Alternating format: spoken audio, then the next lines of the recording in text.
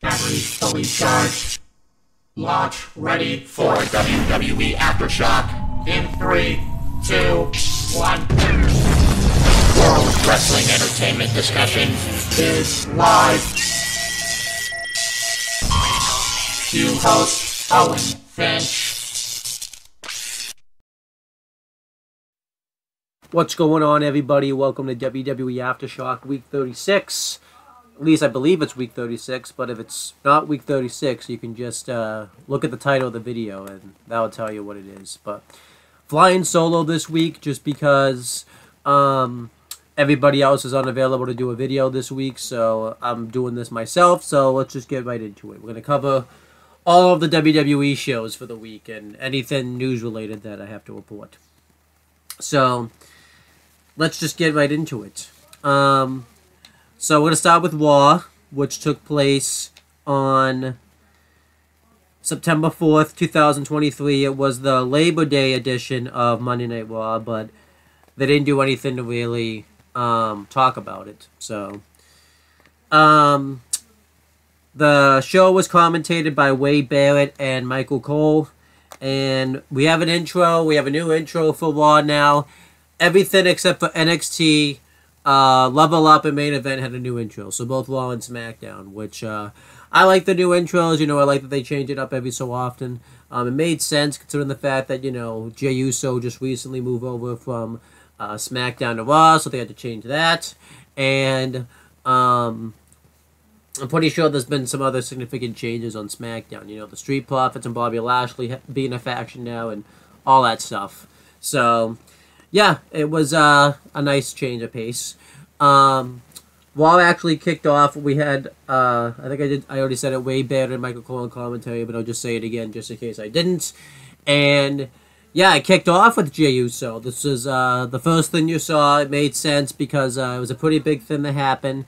And yeah, Jey Uso comes out and he basically talked about, you know, why he's on Raw now, talked about how, uh, you know, he was going to quit and just, you know, not wrestle anymore, but then he got a call from Cody Rhodes and management to be on Raw, and he thanks Cody in a way for looking out for him, and he realizes that he's made a lot of enemies, um, you know, uh, when he was in the bloodline and stuff, but he said that, you know, he doesn't expect things to happen overnight, uh, but he realizes that uh, you know he's willing to looking forward to the challenge. And the first person that confronts him um, is Sami Zayn.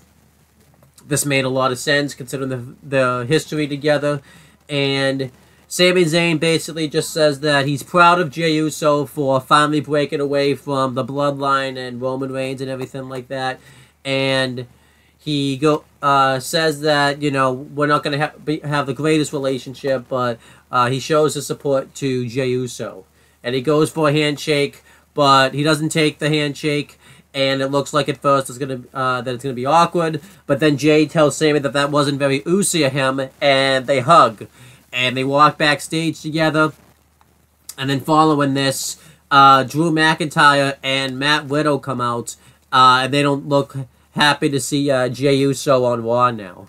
And Sami Zayn kind of has to talk them down a little bit. So this continued throughout the night.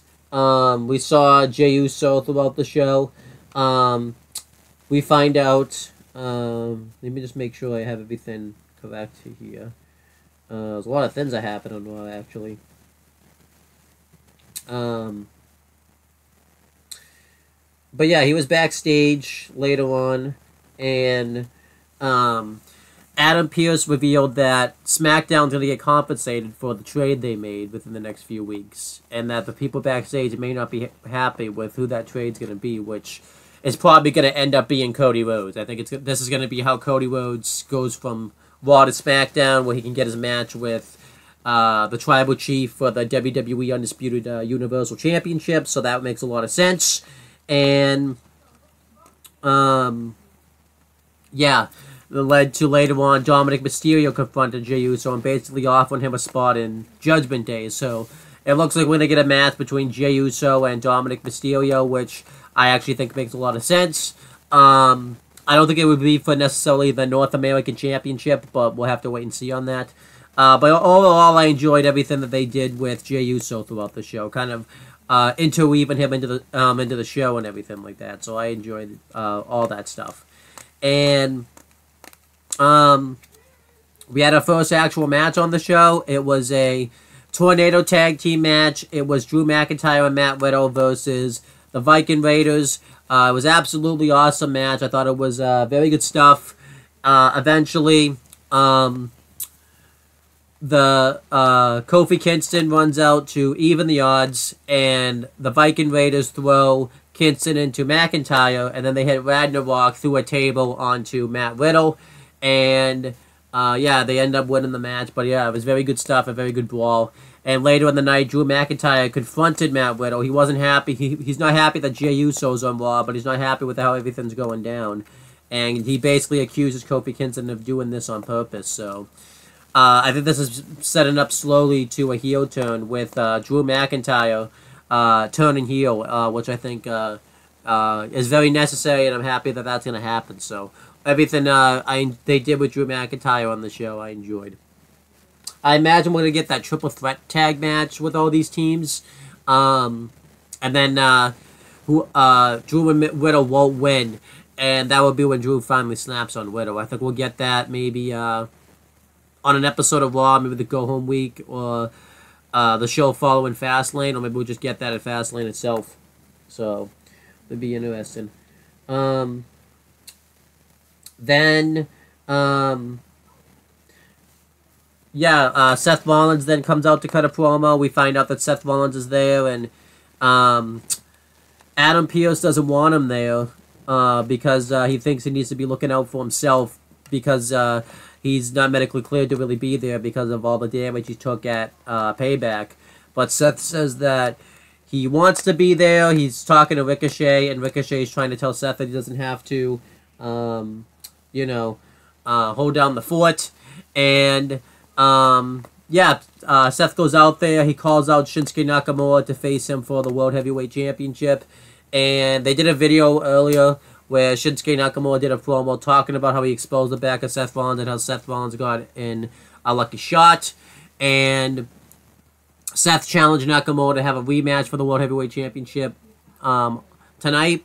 And Nakamura didn't want to have it, so Seth fought, went and took the fight to Nakamura. They blowed around, and eventually Ricochet uh, intervenes, and it leads to a match between Ricochet and Shinsuke Nakamura.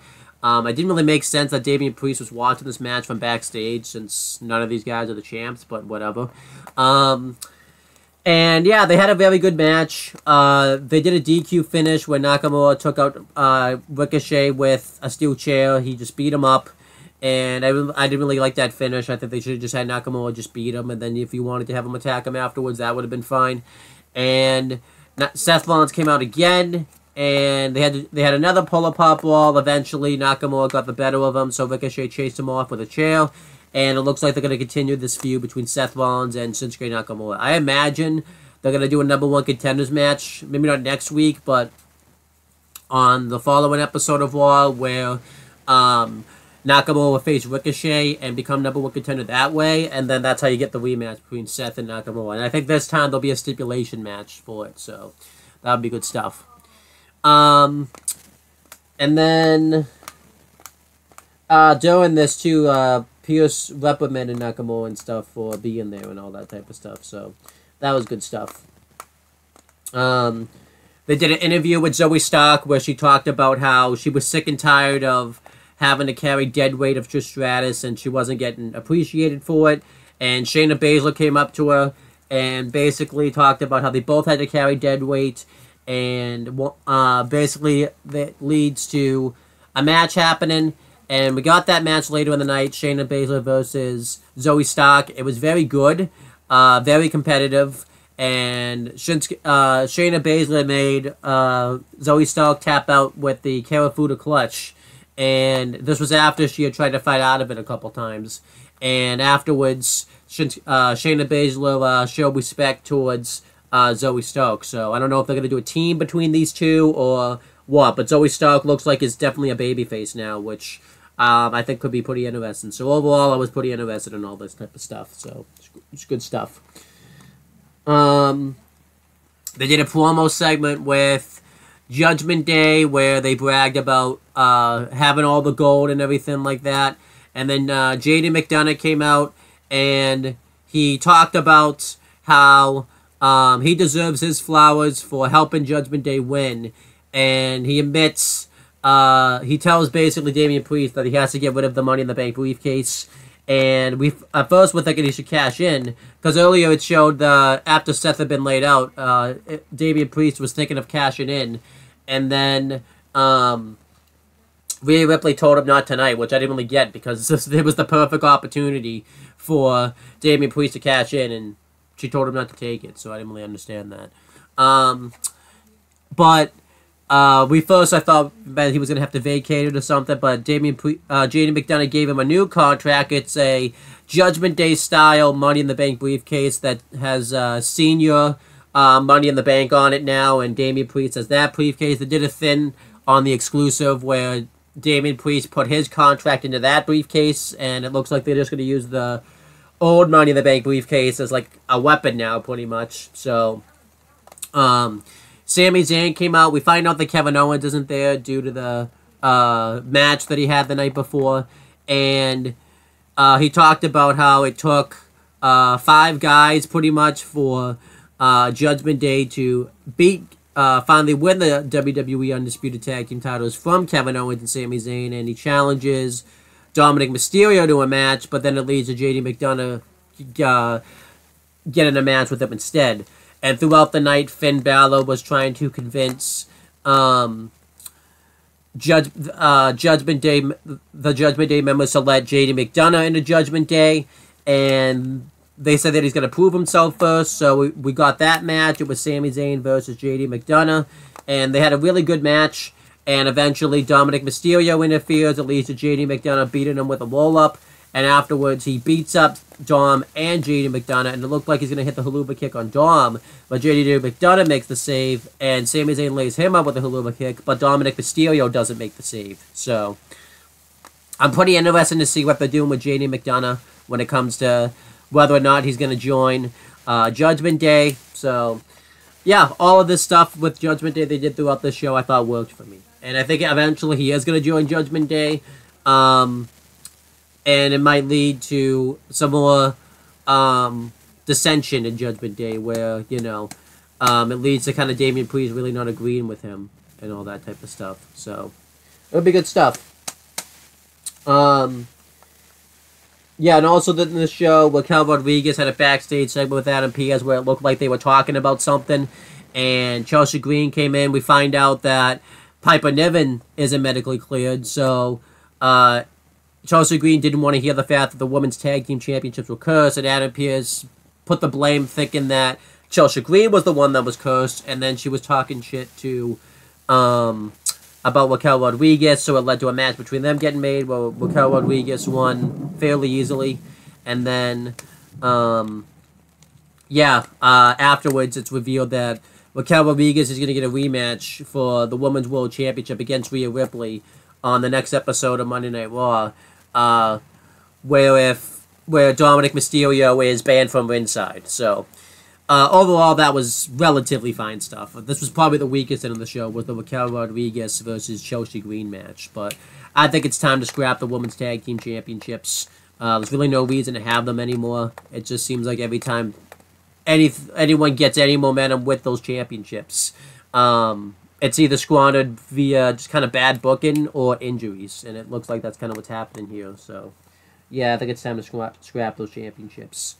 Um, and then, uh, yeah, the last real big thing that happened before the main event angle was uh, we had Miz TV with uh, what we thought was going to be his guest, John Cena, but it wasn't John Cena. It was an invisible John Cena, where they kind of played up to the whole "you can't see me" thing, where the Miz basically just punked him out and everything like that. I really thought this was funny. I thought Miz played up to this really well.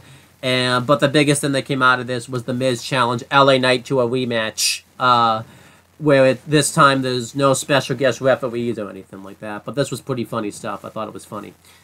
Um, another big thing that happened in the show was Tommaso Ciampa looked like had some type of secret meeting with Adam Pearce. So I don't know what this is leading for with Tommaso Ciampa, whether it's him getting a future title shot, maybe it's leading to Johnny Gargano coming back with reforming DIY, which I hope so. So uh, interesting stuff. And the main event angle was Chad Gable versus uh, Walter for the Intercontinental Championship. It main evented the show, which I'm happy about. Um, I thought this was a big enough thing to main event Raw, and I thought it was something different finally uh, than having the typical Judgment Day segment in the main event of the show. So overall, I was a fan of that. Um, and uh, yeah, uh, Chad Gable had his family inside, and they did this thing throughout the night where it showed past uh, Intercontinental champions throughout the show. It just kind of show pictures of them, and these two just really put on a clinic uh, on the show. It was a great match, really back and forth. Just really go watch it. Uh, Chad Gable nearly uh, wins the match on several occasions, but it's not to be. Uh, Walter finally uh, hits a power bomb followed by a clothesline on Gable for the win, and he didn't officially become it on this show, but as of Thursday, he officially is now the longest reigning Intercontinental Champion of all time, which I think is, is totally valid for Walter to have this accolade. He's done a lot for this championship. He probably might be the, just the greatest Intercontinental Champion of all time, uh, just with the body of work that he's had with this title reign. Um, with the matches he's been putting out with uh, the Triple Threat at Mania, the match at Clash of the Castle, and the match with Drew at SummerSlam. So uh, overall, yeah, just uh, fantastic uh, decision here to have him break the record. And I love the fact that he doesn't really even seem like that he cares that he's even breaking the record. He just wants to make his own legacy type of thing. So yeah, this was a great decision here. He got so far anyways. It really wouldn't have made sense if he didn't break the record. And I hope this isn't just it for Chad Gable. I kind of hope they give him something else, a substance, whether that's eventually be maybe the guy to dethrone Walter for the Intercontinental Championship, or maybe uh, Alpha Academy ends up being the tag team that dethrones Judgment Day of the uh, WWE Undisputed Tag Team Championships. You know, I kind of hope they kind of keep Gable in the limelight just because uh, I think he's done great stuff. I wouldn't complain if they made him a future opponent for Seth Rollins for the World Heavyweight Championship. Just keep Gable in the conversation. I think that'd be great stuff. So, yeah, overall, that was Raw. Uh, I thought Raw was a fantastic show. I'm going to give it an A minus. I thought it was very, uh, uh, very awesome. I liked, uh, you know, about everything on it really not a bad thing on Raw. The weakest thing, I again, like I said, was probably the uh, Raquel Rodriguez uh, Chelsea Green match. But overall, everything on Raw I thought uh, really clicked. So overall, good stuff that happened on Raw. Um, and I'm just gonna cover main event now because that's basically the dog show of Raw. I was gonna cover that first, but I forgot to. So let me just find my notes for that real quick. Um, yeah, that took place on September 6, 2023. It was taped the same day as Raw, though. Uh, the commentary team for that was Byron Saxton and Wade Barrett. Relatively solid episode of main event here. Bronson Reed beat Akira Tozawa, but they did give Tozawa a nice uh, hope spot where it looked like he could have won, where he does hit the senton, but uh, Bronson Reed just barely manages to kick out. So, relatively nice little match right there. And then we had the main event, which was uh, Tommaso Ciampa versus Riddick Moss probably the best match I've ever seen Riddick Moss ever have. Um, but overall, this was relatively good stuff. Ciampa won with the fairy tale ending, which I'm happy that happened. But overall, uh, I thought that main event was relatively good. I'll give that like a B minus. I thought we had a couple of uh, good matches on there, so relatively good episode of main event this week. Um, and then yeah, let's just go through NXT. Um, so yeah, um, Main, um, NXT took place on September 5th, 2023. We had Booker T and Vic Joseph on commentary for that. Um, still a relatively good episode of NXT, but this was definitely the weakest one in a while. Um, this episode of NXT really could have been a great episode if it wasn't for booking. Um, but um, let's just go through it. Um, it kicked off, it kicked off with the NXT Women's Championship match between Tiffany Stratton defending the belt against Kiana James. Bad match. Not a good decision to have this be your NXT Women's title match. Just really not good. Um, fans could have cared less about this. None of the women got an entrance, which isn't always a bad thing, but it's a title match, and that's simply not a good sign. if they didn't get an entrance, they were just already in the ring. The match didn't last very long, but it was still uh, long enough for it to be a bad match. And I think the fans really didn't know who to root for just because, uh, you know, um, both of them are heels and have the same, relatively kind of the same gimmick. Uh, and there was botched stuff, spots in this match. Tiffany Stratton thankfully won with the moonsault. I mean, I say thankfully, but there's really really wasn't a good outcome of who was going to win this match. It really, um, it was really slim pickings. But following this, Becky Lynch came on the screen and announced, you know, that she wanted to challenge for the NXT Women's title since that's the only title that she has won. So she's going to come uh, next Tuesday to face uh, Tiffany Stratton for the belt. And it led to several interviews where Tiffany Stratton, you know, at first she didn't respond, but then it revealed that um, she's the top star in NXT and everything like that. So, yeah, they're doing that match. Um, I hope Becky just wins the belt next week. I could see them doing something where they do a disqualification, but they say it's going to be the main event. I would really hope they give the belt to Becky Lynch just because I think that will uh, be really strong in the ratings and everything like that. And I think the the women's division is probably the weakest division in NXT, uh, probably in all of WWE in general. Um, maybe except the tag division, I guess, in WWE. But um, I think uh, it's a necessary step for uh, Becky Lynch to win that title. And we do know what's going to come with Kiana James next. She did go into the locker room and rant about it, and it looks like her and Roxanne Perez are going to feud now because they got into a ball. Not a fan of that. Um, I guess it gives Roxanne Perez something to do, but I don't. I don't think this is a good direction for Roxanne Perez. I kind of hope they have like a couple week feud and then they kind of move on and maybe she's the one that ends up facing Becky Lynch at No Mercy for the belt, but we'll have to wait and see on that. But overall, uh, relatively uh, good stuff. Um, so yeah, uh, yeah, um, good good stuff there. So um, I'm just gonna send a text real quick because I keep getting called.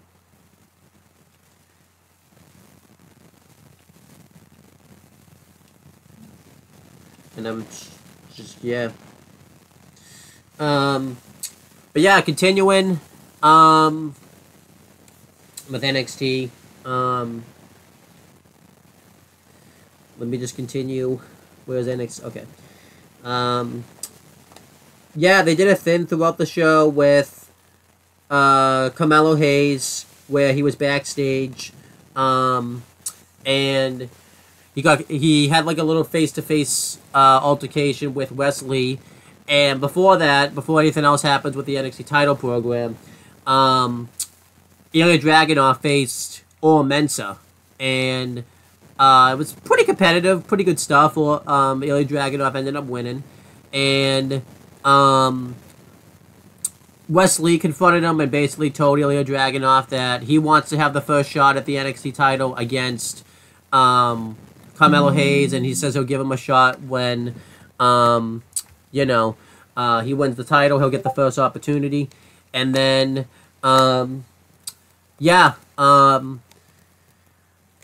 uh, Carmelo Hayes came out and revealed because Ilya Dragunov wanted to be the one to fa- uh, to face Carmelo Hayes, and Carmelo Hayes came out and he revealed pretty much that there is no asterisk towards his victories against those two, but if they both feel like they want a title match, uh, next week, they're going to have a match where uh, the winner will become number one contender for his title at No Mercy. So I'm looking forward to seeing that match. I think that'll be good stuff.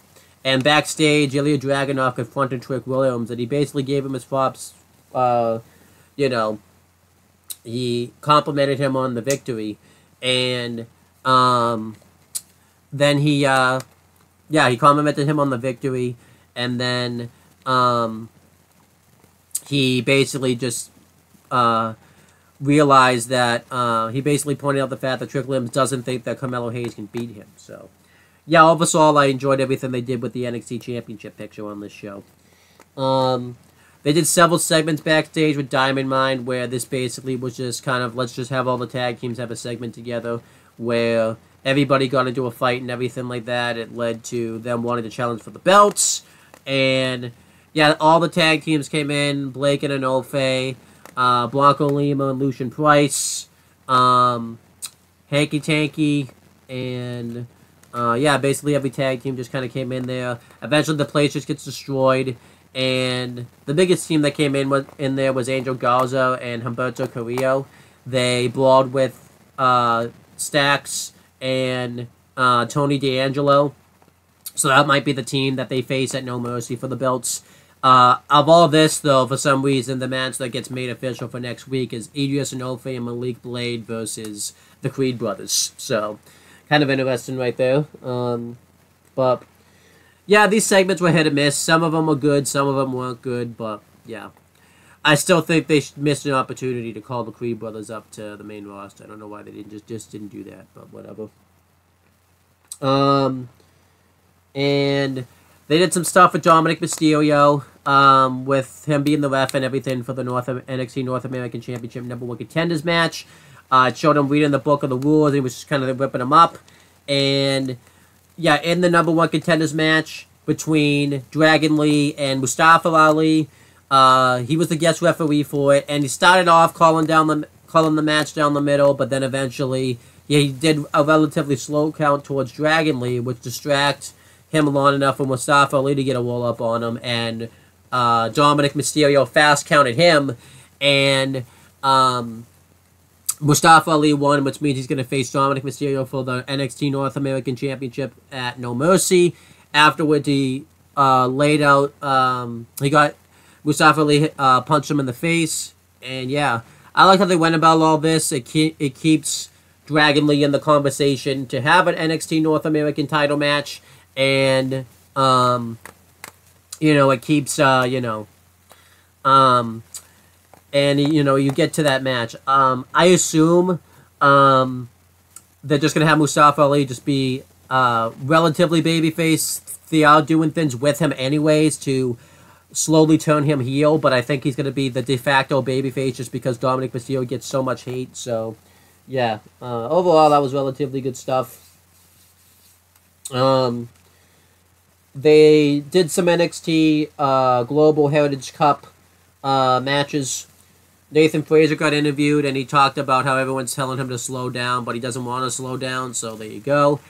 Uh, he faced um, Duke Hudson in a Global Heritage Cup match, and they had a really good match. He ended up winning, so he got two points. Um, he's officially on the board now. And then Pete Dunne faced Axiom. Uh, they had a really excited match, uh, very back and forth. Eventually, uh, it was a tie. Nobody won, so Axiom gets a point and Pete Dunne gets a point. And afterwards, uh, Tyler Bate came out and had a face-off, and he's still yet to have a match in the Heritage Cup Invitational. He did have a match on this show, though, however. He beat Dabba-Kato in a match, which I thought was a great decision. Um, made him look really strong, so I'm glad that, um, I'm glad that happened. So everything they did with the Global Heritage Cup was a thumbs up for me for NXT. I thought I'm, I'm liking the matches so far. Um, and then th- something I didn't like on this show was uh, the pairing with Jacy Jayne and Thea Hale. Thea Hale's totally gonna go heel. She's pretty much almost there. She's not quite there yet, but she's pretty much almost a heel. Um, Gigi Dolan confronted her and tried to warn her about uh, teaming up with Jacy Jayne pretty much, and it led to uh, Blair Davenport coming in and having a face off with her, and it led to a match between Gigi Dolan and Thea Hale later in the night, where Thea Hale won via Blair Davenport interference, so it looks like now we're going to get Gigi Dolan versus Blair Davenport in a feud. I'm just not a fan of how any of these people, maybe except for Blair Davenport, are being used. It seems like Gigi Dolan just loses all the time, and I'm not a fan of this tag team coming up between uh, Thea Hale and Jacy Jayne. I'm just not a fan of that. So, yeah, none of this really worked for me. Um, what else happened on this show? Um, let's see. Uh, Drew Gulak, Charlie Dempsey, and Damon Kemp confronted Myles Borne about teaming with um, Briggs and Jensen uh, next week, and he said that he's just looking for an opportunity and basically they tell him to stay in his lane and all that type of stuff. So uh, I think that six man tag tag tag team match could be pretty excited. And then, um, yeah, um, uh, the other stuff that happened on this show, um, they did a segment with um, Kelani Jordan and um, Lyra Valkyria backstage where Kelani Jordan was looking for advice from her. And Dana Brooke took exception to that, so that's going to be a match next week now. So, not excited about that. Um, nobody cares about Dana Brooke, and I don't care about Dana Brooke. So, um, yeah. And then, yeah, that was basically everything that happened on NXT, except for the main event, obviously. Uh, main event was uh, Bron Breakker versus Von Wagner with Mrs. Stone in the no DQ match with Baron Corbin on commentary for it. Um, and Baron Corbin basically gave his prediction, but he said that he didn't care. So he was on commentary. The match was really good, very exciting, very physical. Um, but Bron Breakker won. He had a low blow on his spear and beat Von Wagner. Not a good decision here. This, I think, was Von Wagner's match to win. Um, I didn't really get why they had him lose here. It'd be one thing maybe if they had Baron Corbin interfere on Von Wagner's behalf, e- either inadvertently or totally on purpose. But um, he just beat him clean. And the thing, the thing that sucks the most about it is Bron Breakker went through like the stage and he got put through the table, but yet all that happened to Von Wagner was a low blow with a spear. And this is supposed to be a big monster. So I didn't really understand uh, any of that. Then afterwards, they had Bron Breakker completely wipe him out. He hit him in the back with a chair, and then he grabbed the steps and he used the steps, and basically the screen went black, and it was as if it was he was supposed to be completely wiped out and everything like that. Uh, and he got stretched out and everything. So it looks like they wrote off on Wagner for a little bit. So yeah, not a fan of this. Um, just not good. Um, I didn't mind the match. I just didn't like the result and everything like that. They're trying to give sympathy to Von Wagner when everyone already likes him pretty much. So, yeah, I think you had a good episode of NXT this week. It's just the booking of was really not that good. So I'm still gonna give it a B minus. There was still stuff that was relatively liked on this show. I just would have changed some things booking wise on this show. So that was NXT. Uh, I'll just cover Level Up right now since that, uh, that that's included. That's taped the same day as NXT. Uh, you had a few um, good matches on it on Level Up. Um, we had Tavion Heights versus Ikemen Jiro. That was a good match. Tavion Heights actually won, which I'm happy about. I'm hoping they can get him doing something on NXT relatively soon. Um, maybe I would I would put him in that faction with Drew Gulak, Charlie Dempsey, and uh, Damon Kemp. I think that could be a good utilization for him. Maybe make that like some type of big faction. So I think that'd be good stuff. Um, and then Carmen Petrovic got interviewed and talked about you know how she's not really used to losing, but to become a success, you have to learn how to deal with defeat first. And she faced Fallon Henley on the show and didn't beat Fallon Henley, but overall, I'm enjoying Carmen Petrovic right now. I think uh, out of uh, all of the that crop of talent that Kelani Jordan, Kelani Jordan's probably the best one, but my um, Carmen Petrovic's probably been you know relatively consistent. I think once she finds a gimmick, uh, she'll be good. Um, and then the main event was a NXT Global Heritage Cup match. It was uh, well not match, but the Global Invitational. Um, it was Joe Coffey versus Akira Tozawa. They had a relatively excited match. It was very physical, very good. And Joe Coffey won, which means now he has four points in the tournament, and Tozawa still has zero. So I think he's got one more match left, they said in the tournament. He's supposed to face Duke Hudson, and I think he's actually going to end up going undefeated in the tournament. And he's going to make it to, um, you know, that group, and then he'll face. I'm not really sure who he'll even face yet. So there's still a bit of ways away. So yeah, Level Up I thought was relatively good. I'll give that a B minus. I thought uh, they had some good matches on that show. And uh, yeah, I think having the Heritage Cup matches is actually kind of helping the Global Invitation. Having some of the matches happen on Level Up is kind of helping Level Up a little bit because it kind of makes you, it gives Level Up a purpose at least for the moment. So I like the fact that they're doing that. I mean, I think they have to do it that way anyways, just because they don't have the time to um, get all the matches on NXT. But it is what it is. So overall, Level Up I thought was relatively good.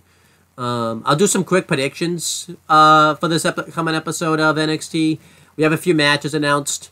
Um, I'll do some for Raw after I do NXT because I forgot. Um, so Wes Lee's gonna face Ilya Dragunov, where the winner becomes number one contender. Um, I imagine Uh, this really could go either way, actually. I hope they don't do a double finish where um, they do a double DQ or whatever, but I think uh, the best bet is um, for. Um, I think they should just give the win to probably Ilya Dragunov. They still could come back to Wes Lee. I hope they don't turn him heel out of it, but they still could come back to Wes Lee um, becoming the champion or at least contending for it again. But I think Ilya Dragunov's the story right now, and I think he um, he might go heel. It look um, I keep thinking that he is, but um, yeah, I think they're gonna give it to Ilya Dragunov. And I think the match when uh, Wes Lee and Ilya Dragunov. Or not Wes Lee. When Carmelo Hayes and Ilya Dragunov face off in their rematch, I think this time there's going to be like a stipulation, like maybe like a cage match, or maybe, um, maybe a last man standing match. I'd like to see that. Um, some some type of match where like there can't be like an asterisk maybe to it uh, this time. Um, maybe Hell in a Cell. Um, you know, because NXT still has yet to do a Hell in a Cell match. Um, there's other matches announced for NXT. We're gonna get uh, the Creed brothers versus uh, Edris Enofe and Malik Blade. Um, I'm thinking the Creed brothers will win. It's the first match back in NXT, and I think they're gonna get a win. Um, so uh, I think they're gonna get the win there. Um, we have Briggs, Jensen, and Myles Borne versus um, Drew Gulak, Damon Kemp, and Charlie Dempsey. Um, if I had to make a prediction, um, I'm thinking that um, they're going to give the win to Drew Gulak's team. Um, I think Myles Borne is mainly in the match just to take the loss, and I think they need to build that faction up. I think that faction could be something really good in NXT, but they need to get they need to get some wins. So. We're going to get a couple more NXT Heritage Cup matches. I'm not sure what they are. I'm just to guess. I think we're going to get... We, they've been doing two groups. Um, so I think in Group B, we're going to get uh, Joe Coffey versus Duke Hudson. And I think Joe Coffey will win that. I think he's going to go undefeated in his block. Um, so I think Joe Coffey will win that. And then um, I think we're getting Tyler Bate versus Axiom. Uh, since this is Tyler Bate's first match in the um, Global Invitational, I think Tyler Bate will get the win there. Um, so there's that. Um, I think the only other matches left is they have to do Pete Dunne versus Tyler Bate. They have to do Charlie Dempsey versus Tyler. Um, basically all the Tyler Bates matches. And I think the only match left in Group B is I think they have to do Akira Tozawa versus Nathan Frazer. I imagine they're doing that match on Level Up. If they do that match on Level Up, I think Nathan Frazer will win. Unfortunately, I think Tozawa is going to basically uh, get go into the Heritage Cup without a win, which I think sucks for him, but it is what it is. Um, so that's basically all the predictions for NXT. Going through some predictions for Raw. Um, we have some matches announced. We have Rhea Ripley versus Raquel Rodriguez for the Women's World Title. I think Rhea Ripley retains. I don't think there's any doubt that Raquel Rodriguez is getting the belt. And I think they're going to set up Rhea Ripley's next feud. I'm not sure who that could be with. Um, maybe they'll bring back Liv Morgan. I'm not sure. Um, and then Cody Rhodes is supposed to be, uh, make a return. This is going to be the first time we've seen him on TV since uh, the trade. I'm not sure what he's going to talk about. Uh, maybe this is going to be where it, gets announced that he was the guy that's going to be traded over to SmackDown, so this will be like his last Raw um, before then. And then Walter's supposed to have a um, Intercontinental Championship celebration to celebrate his long, the longest reign in Intercontinental title reign. Um, I assume he'll just have a celebration and is going to get interrupted by somebody, and it will set up his next feud for the Intercontinental Championship.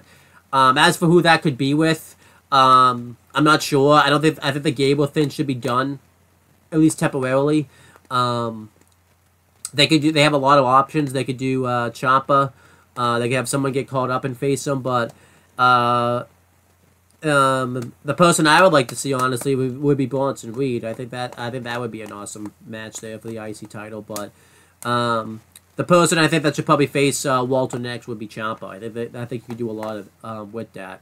Um, and then you know, um, you could have uh, you can use that to set up um, Johnny Gargano coming back, and uh, that can be how DIY reforms, and they feud with Fabian Aichner and Marcel Barthel and have a couple tag matches with them and everything like that. So um, I would do Ciampa, and then that's how you bring back. You slowly use that to bring back Johnny Gargano. So that'd be good stuff.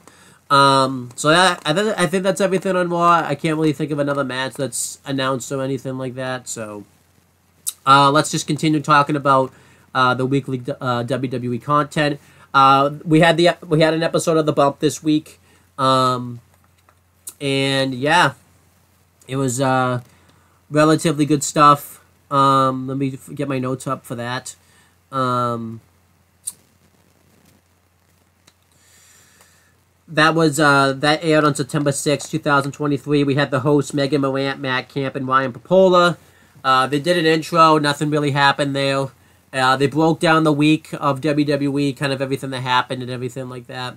And uh, Jackie Redmond interviewed Finn Balor and Damian Priest.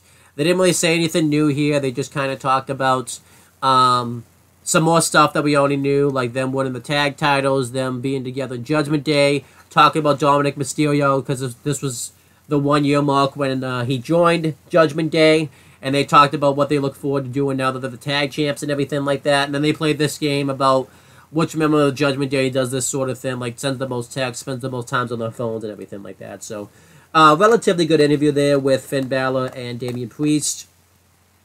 Then they brought in Kazeem um. I don't know how they say his last name, but he basically um, just broke down payback and just kind of talked about everything that's going on there and talked about Walter being the longest reigning Intercontinental Champion. And then Tiffany Stratton got interviewed. She talked about her time with the NXT Women's Championship. Uh, looking forward to facing Becky Lynch, and basically she just talked about what music and stuff she's into, and it did did kind of a Twitter Q and A. So that interview was actually pretty good. I actually thought Tiffany Stratton was fairly good in that interview. So uh, there you go. Overall, the bump was uh, really good. I'll give it like a solid B. I thought we had a really solid episode of the bump. Uh, I liked the interview mainly with the Judgment Day. I would definitely recommend uh, checking that out. So it's good stuff. Um, and then we have SmackDown. Um, I went to SmackDown uh, this week. Um, this is the first SmackDown I've been to since the episode where Vince retired. Um, I can't think of another one I've really been to because I uh, the only other shows I went to was Survivor Series, War Games, um. I went to Raw, uh, the one with John Cena returned, and then I, th- I think I went to another. I, I don't think I've been to another WWE show since because they haven't been. There hasn't been one here. So, um, I'm just gonna go through my pictures because um, that's how I did the notes this week. Um, not really an eventful like trip going in. T- t- um, it was just kind of I left my house. We drove to the venue. Uh, we had parking um, underneath TD Garden pretty much um, because there's a parking garage underneath. We went to our seats. I got the LA Knight T-shirt. I got the one that says "Let me talk to you." You can look it up on WWEshop.com. And then we got some food. Uh, we sat at our seats. The show started at 7:45 because they did a dog match, and the dog match was Kay Lee Ray and Isla Dawn versus Michin Mia Yim and Zelina Vega. Um, good stuff. Zelina Vega got a huge pop when she came out. Um, and uh, Mia Yim and Zelina Vega won when uh, Zelina Vega hit a code red. I believe it was on Isla Dawn for the win. And Mi- Mi- Mia Yim and Zelina Vega won. But yeah, Zelina Vega was really over on this show. Uh, not sure why, but I guess maybe it's because LWO is over, but she was really over on this show. Um, so that was cool. Um, and yeah, uh, that was a pretty good tag match. I'll give that like three stars. Uh, uh, poor Kay Lee Ray and though, they get called up from NXT, and it doesn't seem like they've done anything really with them since then. So, and then SmackDown started. My seats, um, were close. We we, we were pretty much in Lodge 20. Uh, so it was kind of like right where the entrances are. You couldn't see them come out just because of the set of SmackDowns different than Raw. And um, we were right near the pyro. And I think the pyro was louder this time than I think it ever has been. Because I've sat there before and I've heard pyro and it's not been that loud. I think the pyro was really loud um, th- this time around. I'm not sure why that was the case. But um, yeah, it kicked off um, with a tag match uh, after they showed recaps and everything like that with Charlotte Flair and Iyo Sky versus um, Bayley and Iyo Sky. No, I got that one. It's Charlotte Flair and Shotzi versus Bayley and Iyo Sky. Uh, that wouldn't have made sense if Iyo Sky was on both members' teams. Um, yeah, relatively good tag match there. It was uh, pretty good. Um, pretty fun match to watch live. The thing that sucked is if somebody stood on the stage, you couldn't see them uh, just because of where our seats were, but it is what it is. Eventually, um, Asuka's in the crowd, and um, she interferes, and she's uh, taunting uh, with the championship, and this distracts Iyo Sky long enough for Shotzi to hit the um, like an implant DDT on her for the win, and then um, afterwards, um, Io, uh, Iyo Sky and Asuka had a face off, and yeah, that was pretty much it. So it was good stuff. I'm just gonna go through my pictures just because uh, that's how I took notes, like I said before. So I remember that happened. Um, let me just go through my pictures. I took decent amount of photos. Um,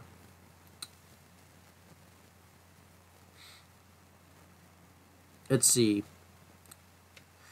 They did a segment backstage with Paul Heyman and Jimmy Uso, and Jimmy Uso came up, and he was happy to.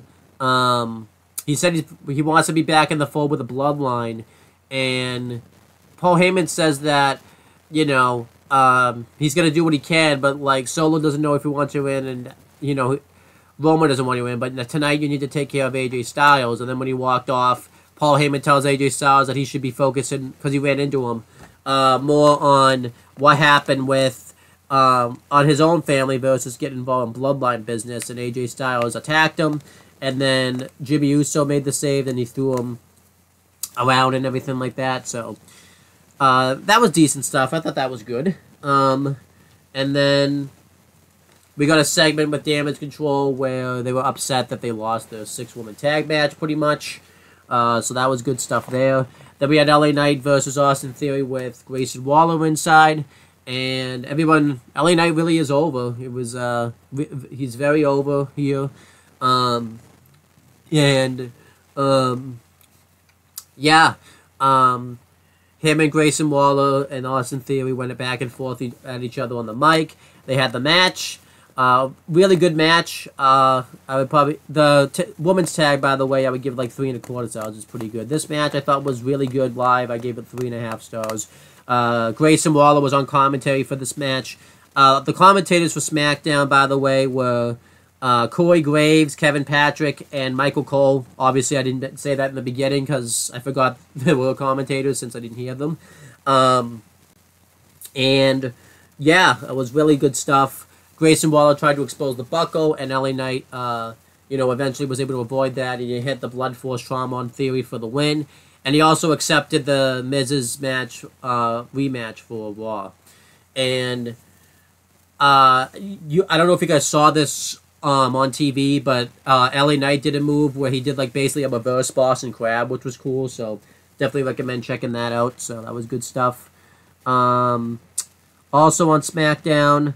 Um, AJ Styles got interviewed and basically just talked about how he's going to hurt Jimmy Uso tonight. Um, so yeah, that was relatively good stuff. Um, then Paul Heyman was trying to get the scoop with Adam Pearce backstage. Uh, this was after Judgment Day did their entrance, and um, he wanted to know who the new superstar was that got traded from Raw to SmackDown, and uh, Adam Pearce says he doesn't know. That's the higher ups that know that. Then LA Knight interrupted him, and Paul Heyman says that he's a big fan, and he basically uh, recommends that he doesn't interrupt uh, Paul Heyman again. So I don't know if that's setting up something with LA Knight getting into a feud in the Bloodline at some point, which I would like. Um, and then, um, yeah, uh, and the match gets made official for the next episode of SmackDown between uh, The Miz and LA Knight. And then, uh, yeah, we had Judgment Day versus, it was Finn Balor and Damian Priest versus Ridge Holland and Pete Dunne. Judgment Day did a promo bragging about their tag title victory, saying that they did something that uh, nobody in the bloodline could even do, and that's beat uh, and take the tag titles from Kevin Owens and Sami Zayn and they bragged about the fact uh, that the they're the most dominant faction in all of WWE, And yeah, Dominic Mysterio goes to talk, and he gets booed. Like I think you see it on TV, but it really comes across when you're there live, like how much how badly Dominic Mysterio gets booed. And uh, Pete Dunne and Ridge Holland cut them off. They basically just uh, talk smack to each, other back and forth, and we had a really good tag team match. It was uh, very good actually, and eventually uh, Finn Balor and Damian Priest won. They won with the uh, South of Heaven, followed by the coup de grace, but it was very back and forth, really good stuff. I give that like three. That, that match was probably my favorite. It was actually great stuff. I'll give it like four stars. It was great stuff. Um, again, that definitely helps being there live for that. And then afterwards, um, the uh, Street Profits and Bobby Lashley confront them, and they say they're the most dominant faction in WWE. So we're probably going to get a tag title match at some point between the Street Profits and Judgment Day, which kind of weird because Bobby Lashley and his faction's a heel, and they're also heels. But um, honestly, it really works. So, and then they do a couple of adverts. They announce that John Cena is going to be on the Grayson Waller Effect next week. Um, and they announced the LA Knight Miz match. They make that official, and they announced in two weeks it's going to be Asuka versus Iyo Sky for the Women's Championship, which I'm looking forward to. So that's good stuff. And then Asuka did a promo talking about how she wants her rematch and everything like that. How she never got it. They did some couple things there that you could do live. They did the DX cam that they typically do at the live event. They announced the next live event in Boston, which is going to be December 27th. It's going to be part of their holiday tour. That's going to be a house show. I will potentially try to go to that show, and you know, obviously, if I do go to it, I'll do a video of reviewing it, like I usually do. Um, so, and then they did Sign of the Night, uh, where you can do that. You had to do something else on this show, but I don't remember exactly what it was. Um, it was Sign of the Night, and then um, I believe it was like Catchphrase of the Night or something. I don't exactly remember what it was. Um, but we had the main event that took place on TV for everybody, which was AJ Styles versus Jimmy Uso, and it was really good stuff. I really enjoyed this match. It was great. Um, this might have been my match of the night. It's close between this and the tag match, but um, during this match, Solo Sikoa and Paul Heyman watched the match, and um, Eventually, Styles still ends up winning with a Phenomenal Forearm on Jimmy Uso, and then afterwards he's about to take off, but then he gets attacked from behind by uh, Finn Balor and Damian Priest, and they throw him into the ring. He gets laid out by Solo Sikoa by the Samoan Spike, and that's kind of how SmackDown goes off the air, um, I believe. And then afterwards, um, you know, uh, the, after the show ended, Jimmy Uso laid him out one last time with the super kick. So yeah, uh, the AJ Styles Jimmy Uso match was very good. I'll give that like three and three quarter stars. Uh, as terms of early days of Jimmy Uso as a heel, it's not working for me right now. Um, I've mentioned before, but now he's already lost it once as a heel. He's, he hasn't really had a moment where he's looked strong. I mean, I guess he looked strong last week, but that was also uh, that was also after he got punked out by Cena. But then he just lost here, so in terms of early days of Jimmy Uso being a heel, it's not good at the moment. Um, the only reason I can come up with why uh, Jimmy Uso won is maybe AJ Styles is going to be the next guy that challenges for the WWE Undisputed Universal Championship.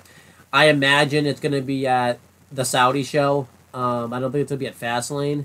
Um, they might do um, maybe a tag match with AJ Styles teaming up because they did a segment. I forgot about this backstage with uh, the club, the OC, where they were kind of upset with AJ Styles getting involved in bloodline business, and AJ Styles is upset at them for not having his back. So seems like something's brewing there. Um, so yeah, interesting stuff. Um, but that was the end of the SmackDown portion. The rest of the two uh, things were dark matches. Uh, the first one was Rey Mysterio and Santos Escobar versus the Street Profits. The Street Profits wrestled in suits. And yeah, they had a relatively good tag match. They dominated Santos Escobar throughout much of it, and then Rey got the hot tag, and eventually uh, beats uh, Montez Ford with a 619 followed by a splash. Um, I'm not going to complain about this just because it's not, you know, not like anybody saw this, and I was happy to see Rey Mysterio win. So uh, overall, that was fine. Uh, I would give that match like three stars. It was good stuff. And then we had the main event of the entire night, which was Cody Rhodes versus Dominic Mysterio.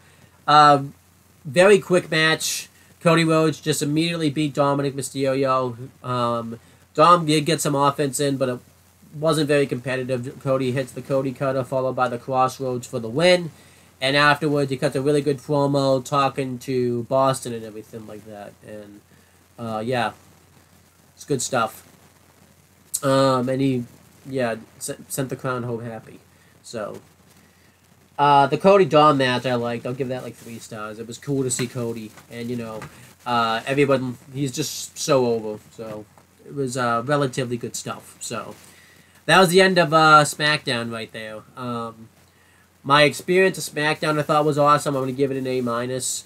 Um, kind of a surprise just because like um, a lot of the star power were were sent over to India, you know, for the superstar spectacle. So it was kind of a surprise to see uh, that this uh, was, you know, um, that this SmackDown, um, you know, had had a put had a pretty good amount of stars on it. They had LA Knight. They had, um, you know, Judgment Day minus Rhea Ripley because she was in India, and then um, they had uh, AJ Styles. They had Jimmy Uso. They had Solo. They had Paul Heyman. Um, so they had a lot of star power here on SmackDown. So that was relatively enjoyable. And yeah, going through my predictions real quick for SmackDown, you have LA Knight versus The Miz. I hope they just give the LA Knight the win again. I could see them giving it to The Miz via cheating, and then they have a third match at Fastlane, but I kind of hope they just give the win to LA Knight. There's no reason for his momentum to be stalled right now. And then John Cena is supposed to be on the Grayson Waller effect. I'm not really sure what could come of that. Um, again, I think they need to get John Cena into a storyline while during this time that he's going to be there. Um, so I kind of hope that's what comes of it. Maybe he starts a feud with maybe Grayson Waller. That'd be nice. Um, so yeah, it'll be interesting to see what they do with John Cena. Um, and yeah, I'm not gonna do predictions for the women's title match since that's not for a couple weeks. Um, so yeah, um, and yeah, that we have some news um, in the world of WWE. Um, by the way, I should mention too, there were some fans there that were doing CM Punk chants because they want CM Punk to come back to WWE. About every other match, uh, there was CM Punk chants. Um, but speaking of that, uh, there's reports that CM Punk wants to go back to WWE. Obviously, as everybody knows, I'll cover it more when I do Spoke. CM Punk was fired from AEW for the, his actions at All In, and yeah, he wants to go back to WWE. Um, I'm not sure how I feel about this. Um, obviously, with how his exit went with AEW and just kind of how he's been in AEW backstage and behind the scenes, I'm really not sure like how they're gonna work around that. Um, I think if he is gonna go back to WWE, he can't do a full time schedule. I think it has to be very much like a part time schedule, like. Uh, a Brock Lesnar, Roman Reigns type schedule, just because like uh, of how he was behind the scenes and everything like that. But um, yeah, I think it could be good stuff. Like there's a lot he could do um, on certain brands and everything like that. I'd make him a free agent, obviously. Um, I don't know what brand he could go on if they uh, what what show would want him, whether that's Fox or USA Network. Um, but again, I'm I'm skeptical to see a return for CM Punk. Uh, we don't know how long that could be because uh, obviously this was the first time that AEW has full on released somebody while they were with contract. Um, I know technically they've done it before. They released they released a few people during the pandemic, but they didn't hold to the speak uh, to like the contract and things just because it was the pandemic. They didn't really know what was going on. So um, yeah, be interesting to see what would what happen if CM Punk did come back. He has a lot of talent he could work with. Um, but yeah, but, um, if he is going to come back, I think uh, they need to be cautious with that, just because of how his run in AEW ended up being. So, be interesting to see what happens there. Um, some other things is the Dudley Boys recently just signed Legends contracts. Um, you know, obviously they would. This would just be like if they do a big show Um, I don't know if they would do another one with WWE because obviously uh, Bubba Ray Dudley was doing basically one final one where he was showing up in Impact and the NWA. And then Devon Dudley, he was recently uh, out of contract and everything like that. I don't know. He I don't even know if he can do anything, but um, they are supposed to have a match um, at Impact during the 1000th episode. It's already been taped. I think it's being taped today. Um, and then yeah, um, I wouldn't mind if they came back and did another match. Maybe they could have a one-off feud with Judgment Day instead. Um, and they did like an occasional appearances, but I'm happy to see the Dudley Boyz back in the fold with them being in uh, back in WWE now. This means that um, they can be in the WWE video games now. Um, I wouldn't complain to see Bubba Ray Dudley come back maybe and do a Royal Rumble appearance. So I'm happy to see the Dudley Boyz back in WWE. So, and then uh, we have some sad news. Uh, we have another passing in the WWE family. It's Jemo Adnan. Um, I'll just read the thing about it because I actually I knew about it, but I didn't really obviously know too much about it. Uh, WWE is saddened to learn that Adnan I. Klasi, known to the sports entertainment world as Billy White, Wolf, uh, Sheikh Adnan Ali Kaisi, and Jawo Adnan passed away on September 6 at 84. Uh, debuted in 1955. I'm sorry, it debuted in 1959. Ali Kalasi wrote in his biography that he was born in um, Baghdad. He had an amateur wrestling career in Iraq and attended Oklahoma State University. Beginning his career as Adnan Casey, he competed for a number of promotions under many names. Uh, he was Billy White Wolf in WWE, where he won the WWE World Tag Team Championships in 1976. He later joined WWE as Jemo Adnan. He was um, Sheik of Sheiks of Baghdad and New Japan Pro Wrestling. He was also um, Airman, Airman Ring competitor and manager Sheikh Adnan Al Klasi in the American Wrestling Association and World Class Championship Wrestling. He headlined SummerSlam 1991 with Cole Mustafa, the Iron Sheik, and Iraq sympathizer uh, Sergeant Slaughter against Hulk Hogan and Ultimate Warrior. Most recently, his Joe R9 character appeared in WWE 2K15 and WWE 2K16. WWE extends its condolences to Adnan Al Klasi's family, friends, um, and fans. Obviously, I don't really know much about him minus uh, the SummerSlam 1991 match, but obviously it's never good to see anybody pass away or anything like that. So, uh, obviously, very sad. Very sad time frame. You know, we've had various passings in the professional wrestling industry and just the WWE family in general. So, it just obviously a very sad passing. So, yeah. Um, so um, other another couple news that's relatively good. I'll end it positively. Is WWE did really well in the India, uh, the Superstar Spectacle event. It's the venue sold out. They did really good in merch sales and everything like that. And the event was pretty much a success. Um, they did do some matches there. Obviously, um, obviously this John Cena and Seth Rollins ended up defeating uh, Fabian and Marcel Barthel in the main event. Um, Walter retained his Intercontinental Championship against Shanky. Um, Drew McIntyre, Sami Zayn, and uh, Kevin Owens defeated Jinder Mahal and Indus Sher. Uh, Rhea Ripley retained a women's world title against Natalya. Um, and then I'm trying to think there was what there was another match there that I'm trying to remember. Oh, and uh, Bron Breakker defeated Odyssey Jones in a match there. So, uh, I wish they aired it on TV on Peacock. They put they, they put it there just because uh, I thought it would have been good stuff, but they they didn't. So yeah, it is what it is.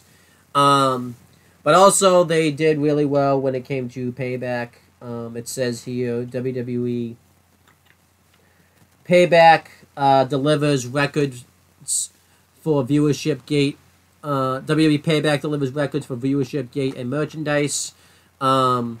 This was this is from September fifth. I'm getting this on the WWE article. WWE today announced that Payback, which emanated from PPG Paints Arena in Pittsburgh, became the most watched and highest grossing um, Payback in company history. The premium live event set new records for viewership, gate, and merchandise.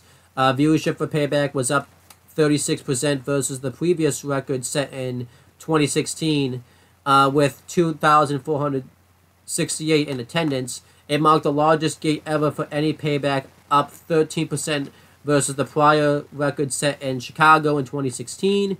Uh, Payback was also the highest grossing WWE, WWE event ever held in Pittsburgh. In addition, Payback broke the all time event merchandise record in partnership with special event retail partners uh, Fanatics. Uh, merchandise sales were up uh, 182% versus the previous record set in 2017. 2023 Payback was also the most viewed social uh, payback of all time with a combined 146 uh, million social views, up 44% from the previous record set in 2020.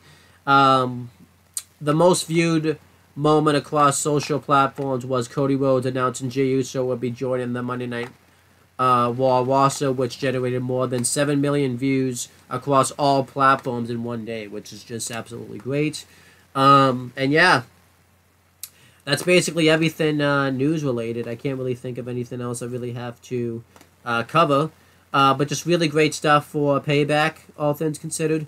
Um, again, just WWE and just wrestling in general is, um, you know, um, yeah, just uh, really great stuff for just wrestling. Wrestling's in a really big boom period right now, which I'm happy to see. So I'm really happy to see that. But yeah, that's pretty much it, guys. I have nothing left to really talk about on WWE Aftershock. Uh, so thank you guys for watching.